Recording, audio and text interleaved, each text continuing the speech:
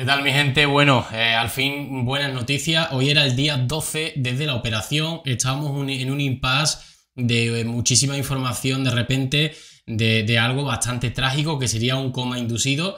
Le dan el alta, la verdad que ha venido todo un poco raro. Eh, a ver, al final han incluso emitido un comunicado, recibe el alta hospitalaria. Yo no sé si esta información que se dio ayer en fiesta por parte de la periodista Concha Calleja es verdad o mentira voy a ser cauto, mm, quizás estuvo en coma los primeros días y, ya luego no, se estuvo hablando de videollamada con los hijos, se estuvo hablando eh, de leer cartas, se estuvo hablando de que estaba más animada, con lo cual entiendo que quizás eso sería, en tal caso de que haya sido así, a principios, ¿no? En los primeros días eh, se cumplen los pronósticos del día 10 al 14, justo en la mitad, día 12, le dan el alta y vamos a leer ese comunicado de la casa Real Británica, Kate Middleton recibe el alta, el revelador comunicado de la Casa Real Inglesa.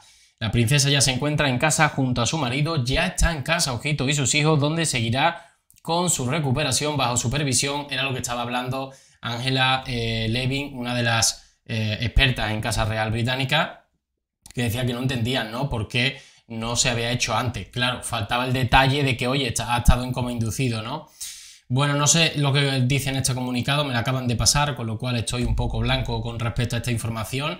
Pero bueno, todo lo que haya sido darle el alta es que no está en coma. No creo que esté en coma y la estén mandando a casa. Evidentemente, significa que hay una mejoría.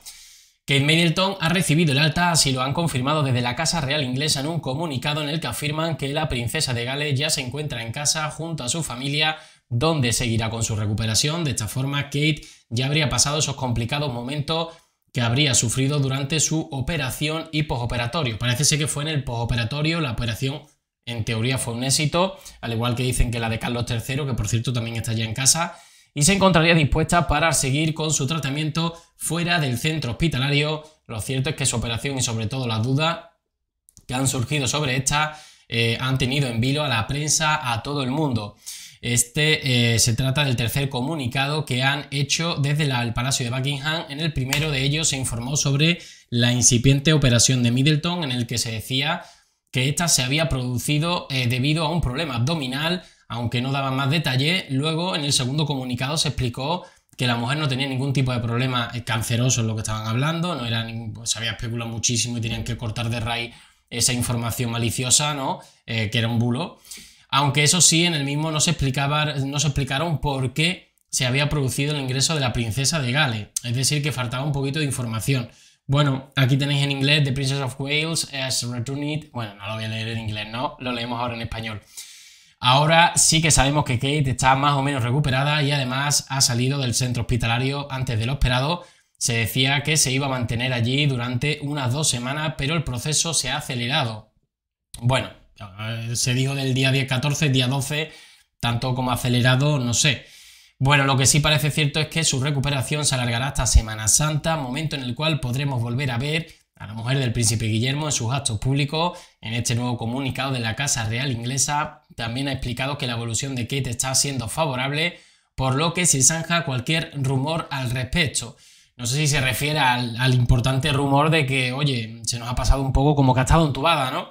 Eh, en fin, mucho se ha hablado en los últimos días de si la princesa eh, había tenido que ser intubada o inducida al coma debido a una complicación de la operación. Por ahora no sabemos si esto fue así o no. Es decir, yo no me atrevo a desmentir ahora que le han dado la alta.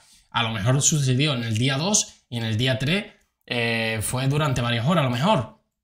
Y, y, todo está bien, ¿no? Después de pertinentes pruebas durante 10 días, ¿no? Desde el segundo día, imaginaros, ¿no?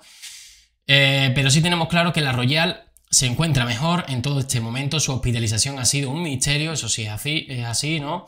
Tanto es así que la prensa solamente ha podido captar a su marido, el príncipe Guillermo, entrando en el hospital en una ocasión y no ha habido ni rastro de sus hermanos o de sus padres, quienes seguramente han salido, eh, han estado a su lado.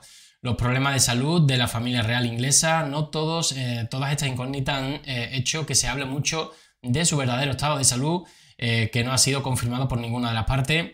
Tampoco se sabe qué fue exactamente lo que le llevó a la mujer a pasar por quirófano.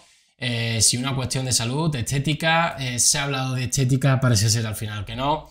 Con quienes sí fueron muy claros fue con el rey Carlos III, quien ha sido operado de un problema de próstata por ese agrandamiento. Y tampoco ha sido una semana fácil para Sara Ferguson, la ex mujer del príncipe Eduardo, y que bueno, que bueno, cáncer de piel, en fin, sumado a no sé qué, en fin. La duquesa de York se está tratando desde hace unos meses de un cáncer de mama por el que también tuvo que pasar por el quirófano. Ahora hemos conocido que la escritora ha sido diagnosticada de un tumor maligno de piel, lo que ha hecho que esté sumida en una profunda tristeza. Por ahora no se sabe el alcance de la enfermedad y qué tratamiento ha de someterse en todo momento. La duquesa ha hablado abiertamente todo sobre sus problemas de salud y ha contado cómo se encuentra y cuáles eran eh, los siguientes pasos en su enfermedad. Sobre Kate Middleton, todavía tendremos que esperar algo más para saber qué es lo que realmente sucede. Ahora bien, yo me quedo tranquilo, el hecho de que le hayan dado la alta es que no estaría en ese coma inducido que están hablando. Lógicamente no, tiene, no, no podría estar en un coma inducido y que la manden a casa por muy medicalizada que estuviera el palacio de Buckingham, ¿no?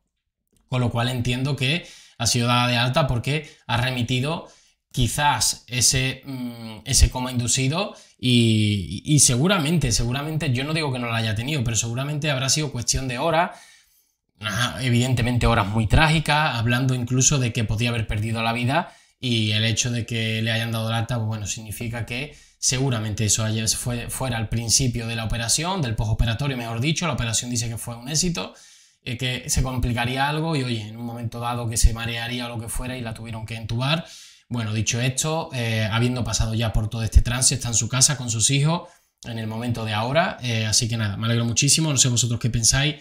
Dejármelo en un comentario. Nos vemos en el siguiente vídeo con más información. Un saludo.